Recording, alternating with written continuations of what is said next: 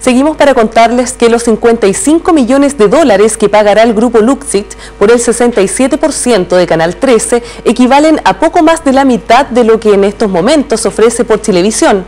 CNN Chile investigó cómo se llegó a ese monto por la estación católica más de 7 millones de dólares en pérdidas. Si ese balance graficó un 2009 muy malo para Canal 13, este año se proyecta aún peor, ya que solo en el primer semestre la estación perdió casi lo mismo que en todo el año pasado. Con ese nivel de deuda que amenazaba con crecer, los expertos creen razonables los 55 millones de dólares que el grupo Luxich pagará por los dos tercios de la estación. También habría influido en no elevar la tarifa el pensamiento con que operaría el que para la revista Forbes es la familia más rica de Chile. ¿Tenemos oportunidad de negocio? ¿Podemos ganar plata? Sí. ¿ah? Y eh, queremos comprometernos a lo mejor con los valores y los ideales que tenía Canal 3 originalmente, probablemente sí.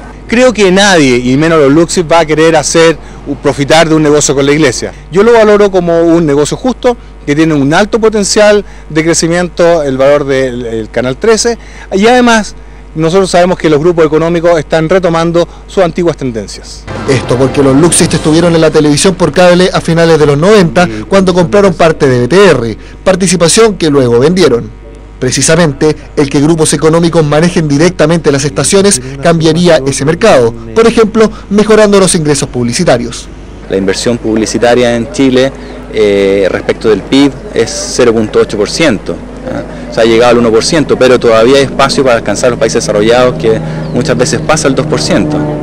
Precisamente, un desafío de los Luxich es al menos igualar los casi 65 millones de dólares en utilidades que el todavía canal del presidente tuvo desde 2003 a la fecha, lejos el más rentable del país.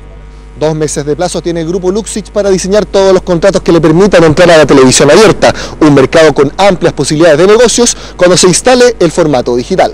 Nicolás Paut, CNN Chile.